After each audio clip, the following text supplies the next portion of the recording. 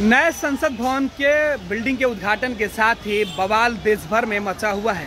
राष्ट्रीय जनता दल ने नए संसद भवन के जगह पर एक ताबूत का फ़ोटो ट्वीट किया है। राजद के इस ट्वीट के बाद अब सियासत गर्म आ गई है। आपको बता दें कि जो नया संसद भवन की बिल्डिंग है, उसकी बनावट और उसकी संरचना को लेकर प्रधानमंत्री नरेंद्र मोदी ने खुद ट्वीट करते हुए तमाम तस्वीरें साझा की थी। प्रधानमंत्री नरेंद्र मोदी ने लोगों से उस वीडियो के साथ उनका ओपिनियन भी मांगा था। नरेंद्र मोदी ने कहा था कि वो उद्घाटन के बाद उन तमाम तस्वीरों को खुद साझा करेंगे। लेकिन इस बीच कई तरीके के बवाल मचे हुए हैं। एक तरफ़ विपक्ष की पार्टियाँ धरना प्रदर्शन कर रही हैं तो दूसरे तरफ़ सोशल मीडिया पर नए भवन के जो संसद का जो नया भवन है, उसके आकार को लेकर, उसकी संरचना को लेकर सवाल उठाए जा रहे हैं। कहा जा रहा है कि ये जो संरचना है, वो सीधे तौर पे हिंदू सभ्यता के अनुसार शुभ नहीं है।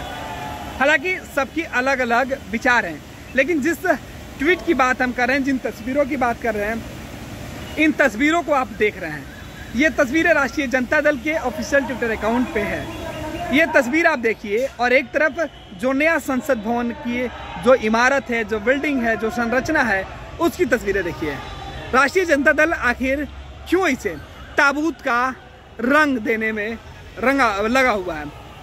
राष्ट्रीय जनता दल के द्वारा बार बार नए संसद भवन को ताबूत के आकार का बताया जा रहा है, दिखाया जा रहा है। मकसद क्या है? राष्ट्रीय जनता दल बार बार यह बातें कह रही है कि नए संसद भवन की ज़रूरत नहीं थी। पुराने संसद भवन में जो वास्तुकलाएँ थी, वो सब जो पर्याप्त थी, ज़रूरत के हिसाब से।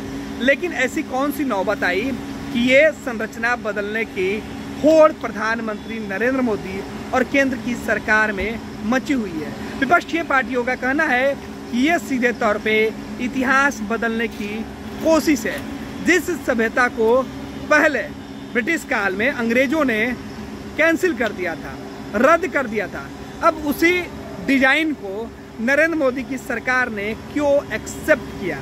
क्यों ऐसी डिज़ाइन बनाई? इस पर सवाल मचा हुआ है। एक तरफ़ उद्घाटन कार्यक्रम में प्रधानमंत्री के जगह राष्ट्रपति से उद्घाटन करवाने की मांग विपक्ष कर रहा था।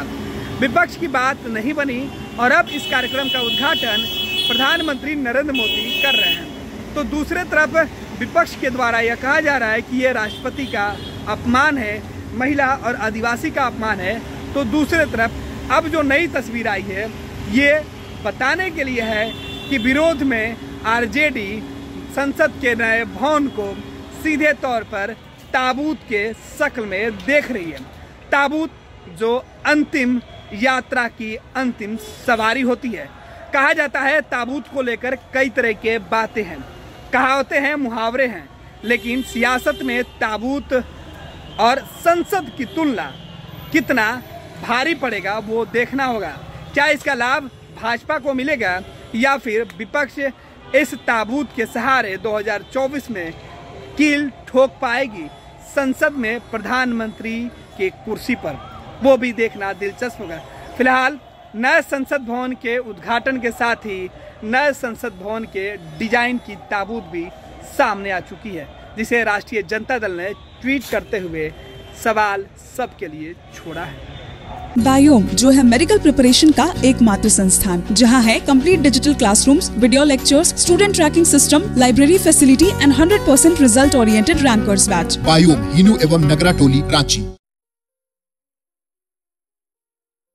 ये लो मुँह मीठा करो। आज मैंने अपना जॉब छोड़ दिया।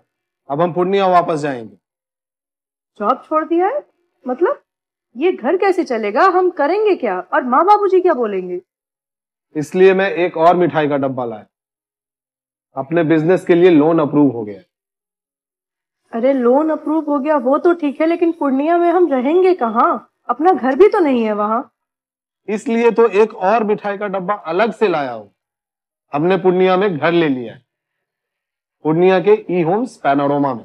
पूर्णिया में पैनोरमा ग्रुप लेकर आए हैं। ई होम्स पैनोरमा बड़ा घर आलीशान ज़िंदगी।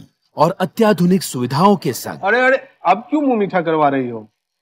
क्योंकि हम घर वापसी जो कर रहे हैं। घर वापसी की खुशी।